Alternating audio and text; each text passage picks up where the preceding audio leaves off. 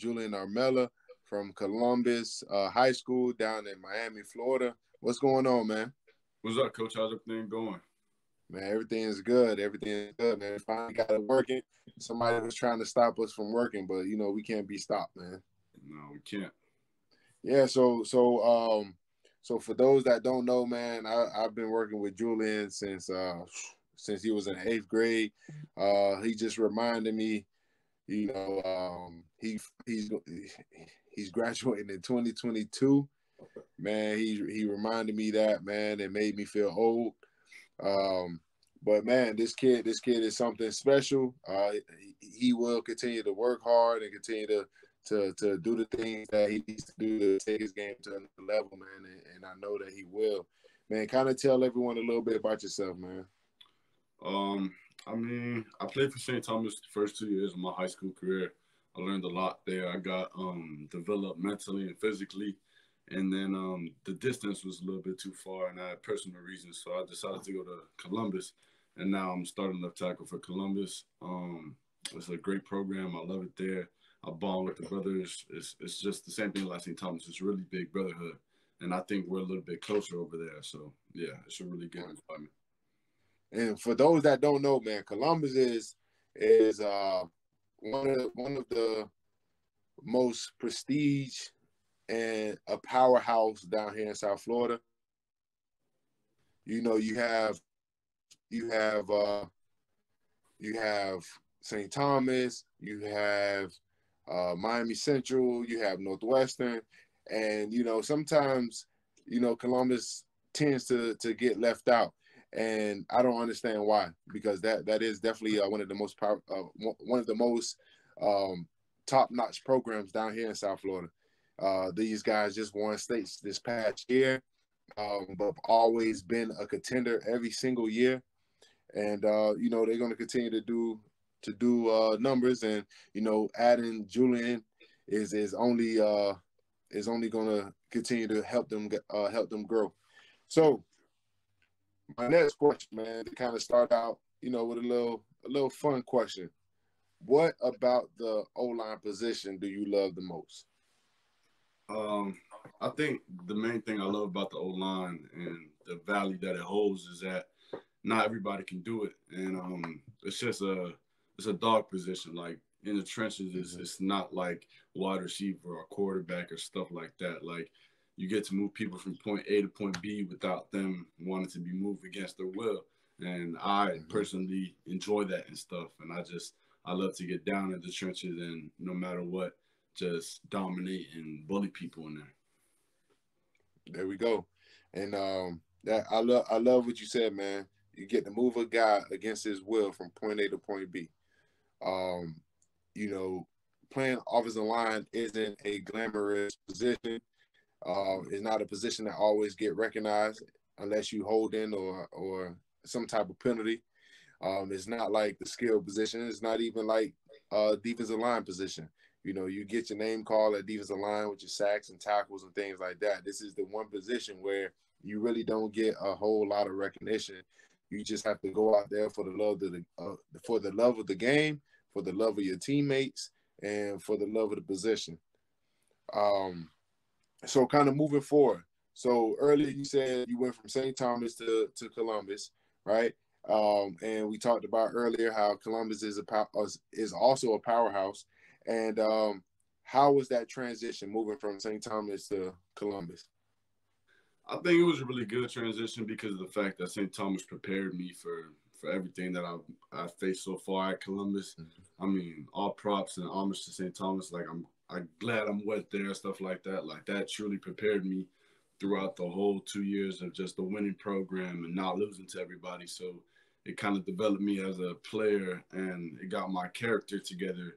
And now just the move has been nothing but success. Uh, we beat uh, Booker T. Washington last week. That was a pretty big game. We're 2 0 right now. powerhouse yeah, I think uh, the main thing is we're just starting to click. Like we haven't played football in so long, and I haven't even played with these guys, but now the chemistry is going and everything's just rolling. There we go. There we go, man. It's it's funny because that is true, man. You can see with a lot of teams, man. Like, you know, you're not you're you're playing about four or five games this year, and to be honest, for most teams around that fourth game, that's when things are starting to kind of click. So um, this year, you see that you have to kind of try to speed things up a little bit more quicker than you would normally uh, do in the regular season.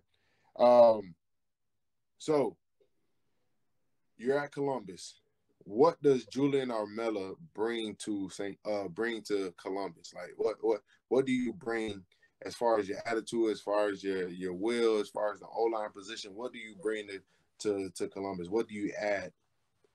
I think I bring a, a, certain level of dominance and um, leadership. I think that it's just competition. Like ever since the first day, I've been getting at it with all these D linemen and making all the linebackers better, talking to the D linemen after the play, and stepping up to the plate where um, vocal leadership needs to be heard and made.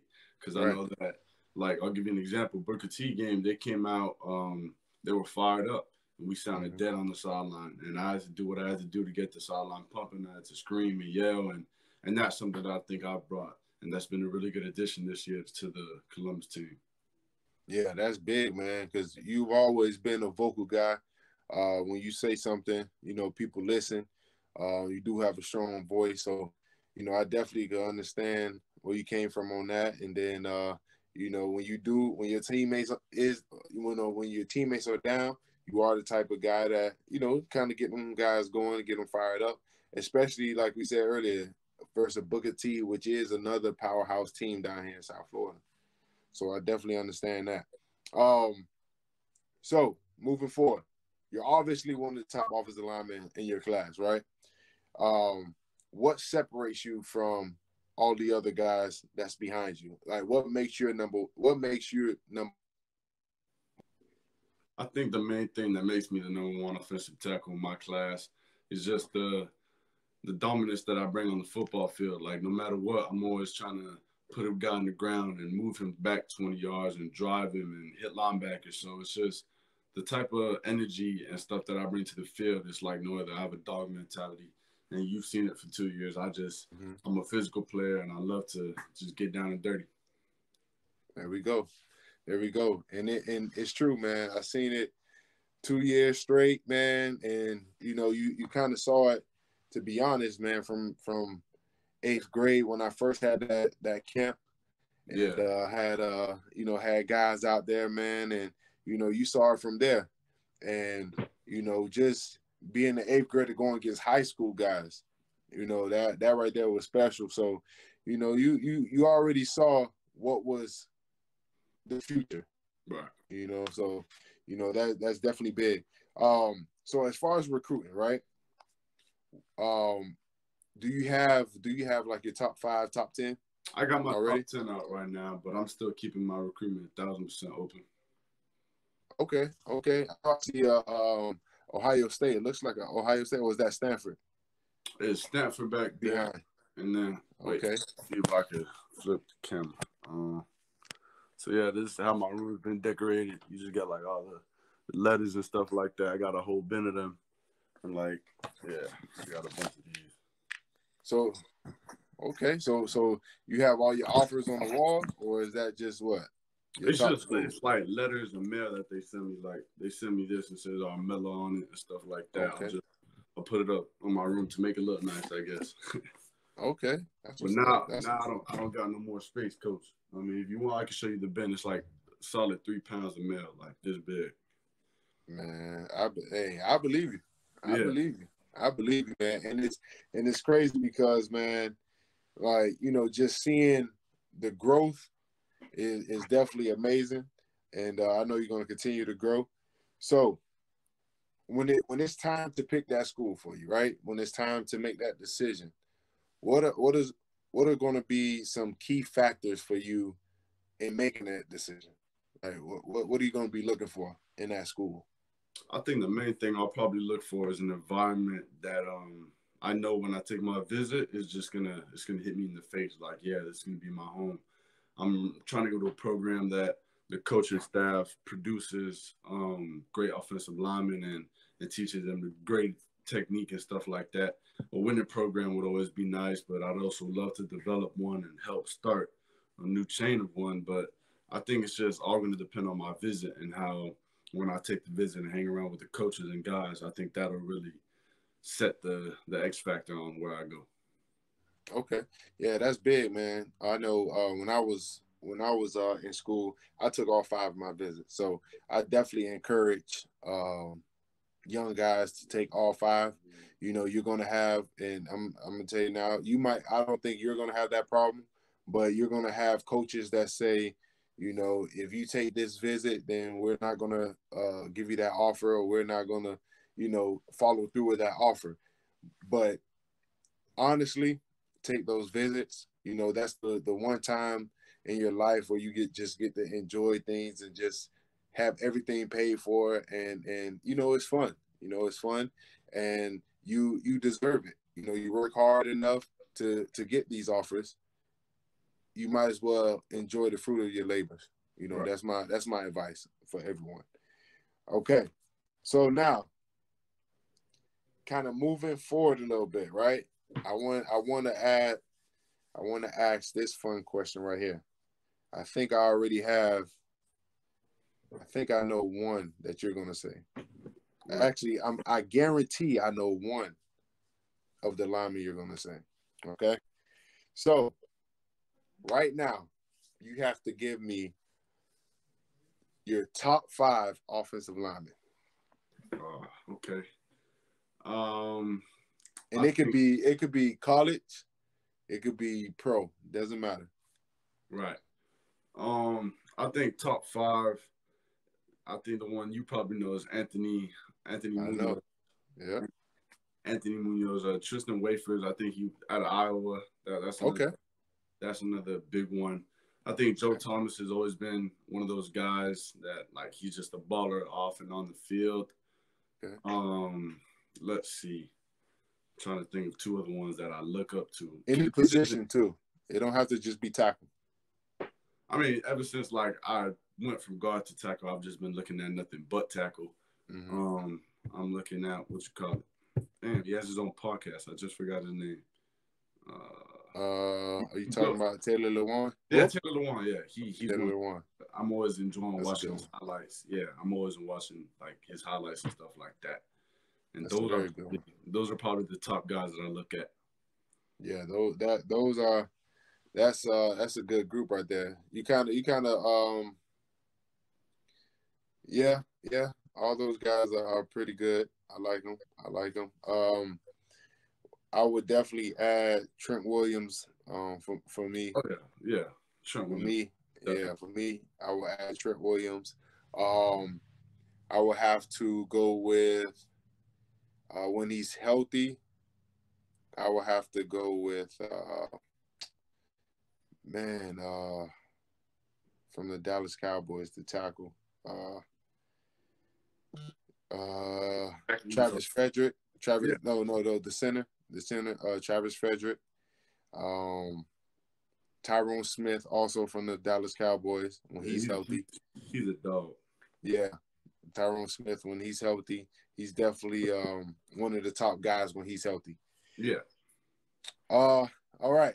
So now, give me a fun fact about Julian Armella. Something, something that no one that no one would expect. You know, just give me a fun fact about yourself. Uh, let's see. A fun fact about myself. I'll probably have to say, um, as weird as it may sound, I mean, I don't know. I heard a lot of big linemen like to go fishing and stuff like that, but mm-hmm. I mean, fishing sometimes is fun, but at the same time, sometimes it's boring. Um, I think when like you do like catch a fish and stuff like that, that's probably something that's enjoyable in the moment. But I enjoy catching fish, but not waiting around all day to catch a fish. That makes sense. Right.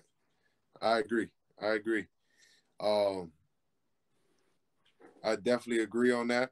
Um, and, and a fun fact for me is that I've never been fishing. Never been fishing. Oh wow. Never, never been fishing. In, in my whole my whole life, I never went fishing. I never seen snow, coach. Oh, I definitely seen snow. Yeah. So so so now, right? So you never seen snow. So is that something that will affect where you decide to go, or it's just like, I don't. It don't matter if it snows. If I if I walk into the building, even if it's pouring down snow, and I feel that it's the right fit, I'm still gonna go there. I mean, I I haven't really had a problem with like changing my climate. Like we went to Cali and we went yeah. to Los Angeles, and it was somewhat cold during the national championship game. But mm-hmm. I think in general, I want to experience the the college experience, and I want to be able to leave Miami. I've, I was born and raised, but at the same time, if if Miami or Florida or FSU do a good job of recruiting me, I'm going to make sure that I give them a chance. But I'm most definitely open minded, and that's not something that would hinder my decision on where I'm going to go to college. No, definitely, definitely. Um, and, and that and you definitely doing a good job, man. Uh, with with the schools down here because I know I know you're definitely giving everybody the the same amount of respect and uh, hearing everybody out and uh, listening what they had to have to say, which is smart, man. Which is definitely smart because you never know where you might go. You know, right. You know, you you might end up up north somewhere, or you might end up right here at home. So you know, you're doing a you're doing a good job with um with listening to everyone out, uh, listening to everyone, and and kind of hearing them out and seeing where they're coming from. Right. So, my next question, right? So so no one know that knows this better than you. So if you had to say, what's one thing that you feel that you need to work on to take your game to the highest level um, in high school? Like what what is your what is either your weakness or something that you feel that you really have to work on? I think, like you said, uh, I mean, there's always room for improvement and stuff like that. So no matter how highly ranked I am, I always feel like I can get better and stuff like that. Mm-hmm. And I think as right now, my footwork has gotten tremendously better, and my hand placement has gotten a lot better. But one thing I'm trying to do um, every day in practice, and I'm still working on, is getting better slowly. Is stepping on the linebacker's toe, toes and going to second level and not just hitting them, but getting mm-hmm. position and driving them down ten yards. Right. Yep. Yep. And and that's that's definitely the right verbiage. You know, going to step on his toes. You know, um, and for those that don't understand what that means, is literally, you know, you're going to find that linebacker toes and step on it. Why am I saying go step on his toes? Is because what it's going to do is put you in position to front him up, which is get head up on him. So that's definitely good verbiage. Um, now, for those that don't that don't know, Julian, uh, freshman year, sophomore year, you was weighing about how much? How, how much were you weighing about that? My freshman year, uh, I started at like 285, and then I got up to like 290, 295. Sophomore year, I went from 290, and I finished my sophomore year at um at 330. Right. So the reason why I'm bringing that up.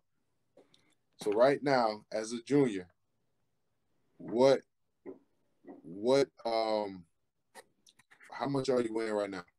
Right now I'm I'm 290 on dot. I'm 6'7", 290. Okay, so 6'7", 290. So if you haven't seen Julian lately, he has shredded up. He has lost a lot of the baby fat.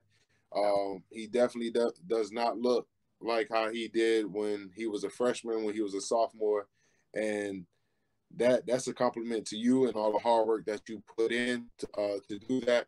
So, what kind of give all the listeners um, an idea of what you kind of went through to lose that weight and and and to kind of tone up? I think the main thing, like if I can tell my story at least, is just dedication and, and not cheating yourself. Like I was going every day from I was at St. Thomas eating brownies and Oreos and stuff like mm-hmm. that every day, and I realized in the NFL draft, like all these all these tackles and stuff, they're not these big 330 pounders anymore. All of them are starting to lean up and be mm-hmm. be more lean, and that that's the new demand. So I knew I had to put myself in um, a position that I can can get like that because I know in college right. I'm gonna put on weight. But I mean, I was waking up every day at six o'clock in the morning, I was working out on an empty stomach and then having a little protein packet. It's 90 calories. You put in your, your water bottle. And I was having that until like one o'clock.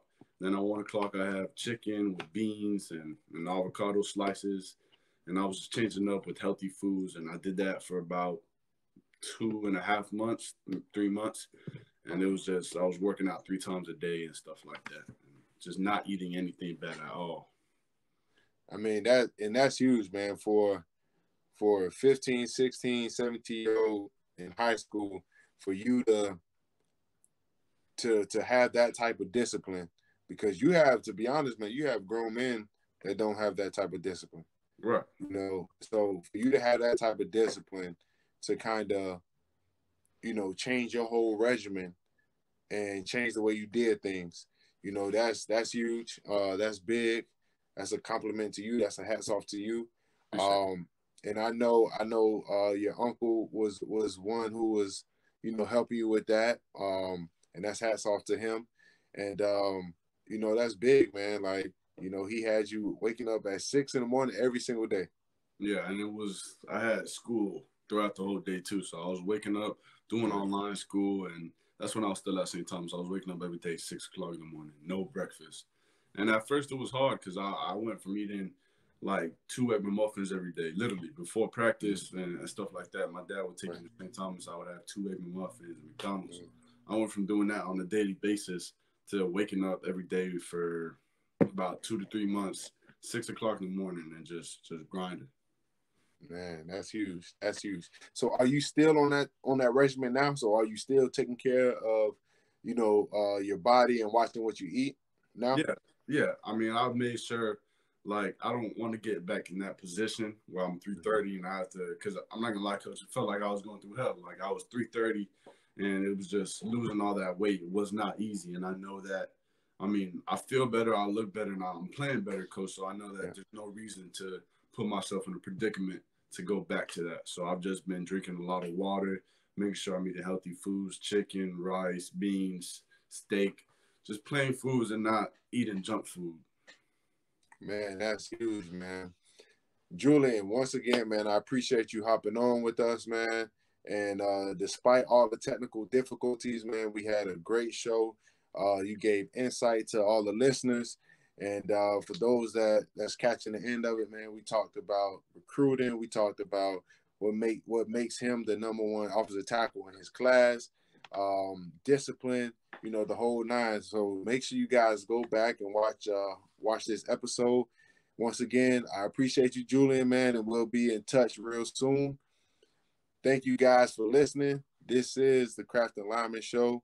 Um, tune in next Wednesday. We are on every single Wednesday at 8 p.m. Appreciate you.